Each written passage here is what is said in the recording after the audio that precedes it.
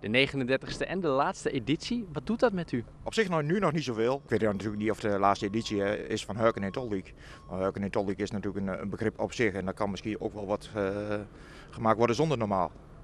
Kijk, de normaal treedt voor de laatste keer op. Maar dat wil niet zeggen dat Hurken en Toldiek helemaal afgelopen is.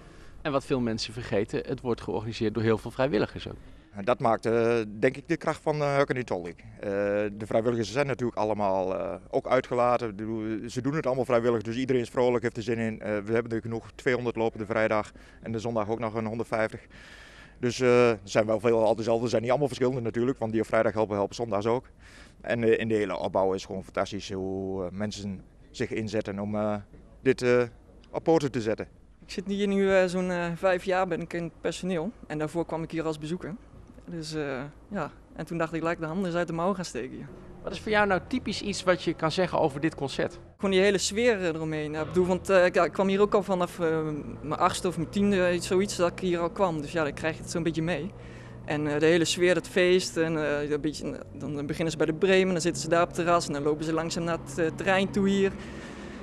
En dan, uh, ja, dan gaat, gaat, het hier allemaal tekeer. En, dan, uh, en je hebt jong en oud, dat is het mooie. Nou, we wachten een vrijdagavond. Het is uitverkocht. Dus zowel de vrijdag als de zondag. Dus mensen die nog willen komen, die hoeven natuurlijk niet meer hier te gaan proberen. Want dat kan echt niet. Maar de vrijdag zitten we op 4000 man. En op de zondag zitten we op 2900 man.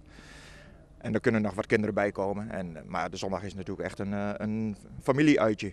Dus het is van, echt van de kleine hummeltjes van, van, van drie, vier jaar of nog in de kinderwagen.